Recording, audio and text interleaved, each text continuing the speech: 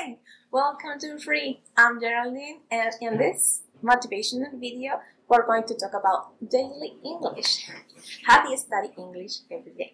Uh, let's say in the digital world, there are many websites that help you with your English, and many of them have this word of the day or phrase of the day, or even they send you newsletters uh, or they send you the word of the day, etc.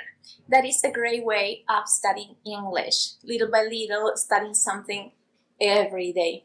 What has happened to me is that sometimes I get bored and I stop looking at them after a while, which is not good for my English. So there's one way that doesn't bore me that is when I can spontaneously see something in English and I see an opportunity to learn more English. Of course, I am still learning too, just like you.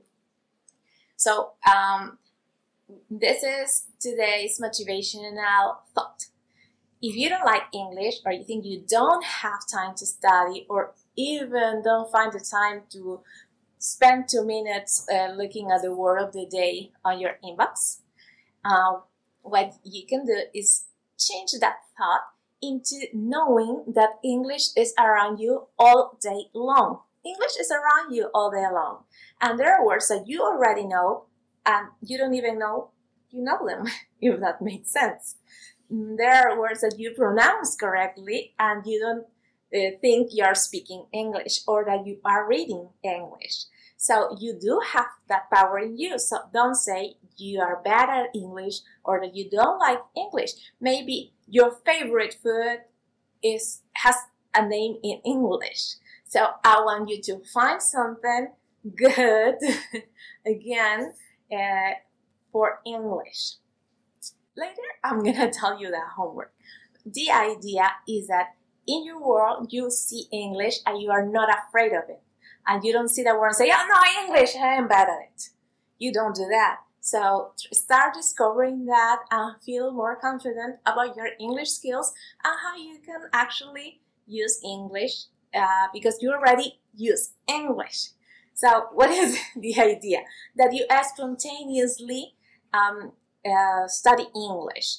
How does this happen spontaneously?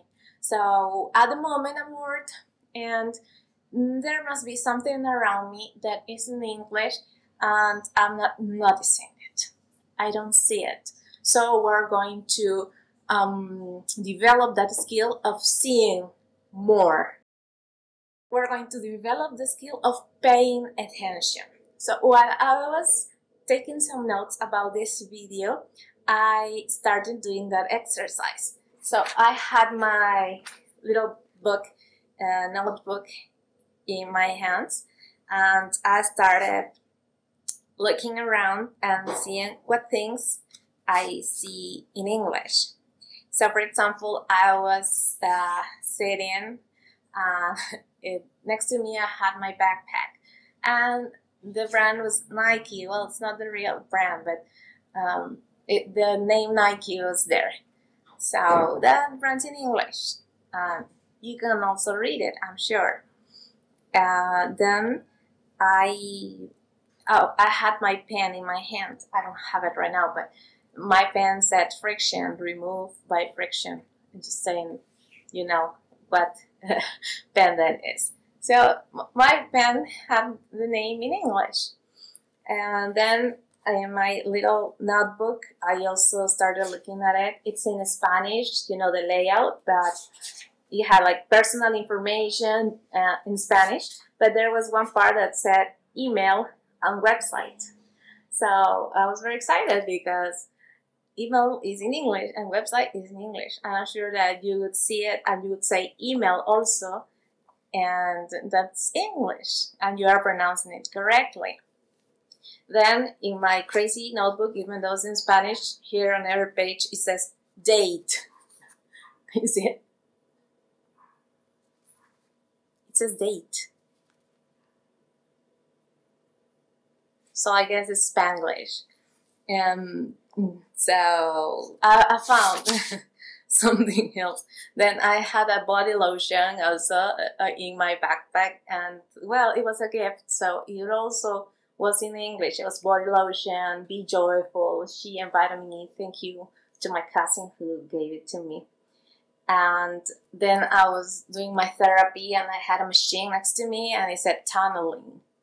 So there were lots, lots of words in English, lot of phrases some of them I was familiar with, and some of them I wasn't. But the idea of this exercise is not to to learn the vocabulary uh, officially. It's just to know that you are in contact with English all the time and you are not afraid of that. Uh, on that same day, when I was on my way home, I also took some photographs on what was around me and also was in English, and I wanted to show them to you. So I was on my way and I saw this van and it had, well, the name is not even Spanish or English, I really don't know what language that is, it's just a name. But uh, look at this, Google Play and App Store. And we use this all the time and uh, it, they're in English, especially Play and Store, actually App also, App, Taxi, Taxi is also English. It's my first example. Then I was using my cell phone and you know my everything is in English in my cell phone, of course. And uh, I had a, uh, I was playing the game. You know how they make you watch videos, so the videos are in English, and they offered me a reward. they were advertising a King Kong mask, prices and quantity may vary, etc. They were advertising this place that also has a name in English, shopping made fun, get free, etc. And again, App Store. Look at that, App Store again. Um, and then uh, continued my trip and I saw another ad. And as you see, I live in a Spanish speaking country and you have this in Spanish. But what I care about was about this bottle because you see it, at least here we see it. Uh, what do you read? You say 7 up, right? So this is English 7 and up. 7 up, everybody says that and you are using English in our daily life. And what can you find in your daily life? This is what I found. I found some other things, but my figures weren't as good as these ones. so you can see that everything uh, has something in English. And many of that is we are so familiar with that we don't even notice that we are speaking English, reading English, uh, and sometimes writing English.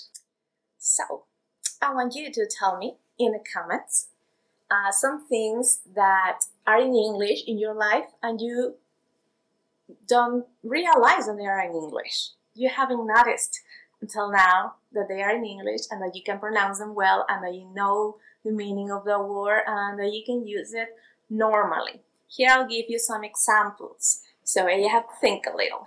Where could you find um, English words that you usually use and you don't realize? Maybe TV channels, uh, TV programs, um, music, um, music genres, musical uh, singers, uh, songs in English, of course, or sometimes in other languages, and they also use English. Food, uh, I want you to think uh, of the food that you eat and you say in English, or anything else that you can come up with. Uh, maybe at work, there's something you work with, maybe a program, maybe something, a machine, and it's in English and Spanish at home, in the kitchen, everything. There are lots of things that are in English. So I want you to tell me uh, and start seeing that English is around you and you use it, so don't be afraid of it. The first step is this paying attention, noticing that they are there and that they are good, that they are not going to hurt you, that they are not difficult, that they are not a headache. They are in English and they are good. And the next step would be taking notes of them, and following step would be uh, looking for new words and definitions, but I'm not asking for that. I'm just asking you to notice that English is actually around you. So you shouldn't be afraid of it. This could be your daily English. English is there, and you you already know some of it. So you can take advantage of that when you start learning some other new things. Please let me know what you find out. Uh, subscribe, please, comment, and see you soon. Thank you. Thank you for watching, and see you soon.